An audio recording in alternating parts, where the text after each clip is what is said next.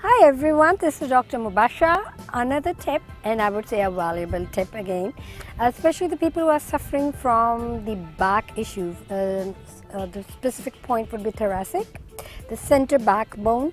Uh, so it's due to uh, when we put a lot of lot of compressions uh, specifically for the weight issues the people who have gained a lot of weight or the sitting posture which we uh, always take for granted turn twist or like sat like a, like a couch potato. So make sure that when, whenever you sit uh, do not bend over or do not have especially concave uh, I would say like a posture like a bending forward or the backward.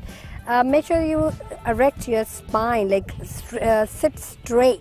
So you don't have a degeneration especially and you don't compress your bone um, muscles or uh, tissues. Uh, so the best thing i would advise you to take a lot of lot of uh, natural vegetables soups and salads. Take care